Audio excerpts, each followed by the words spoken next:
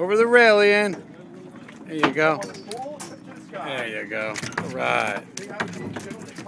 Just let some line out.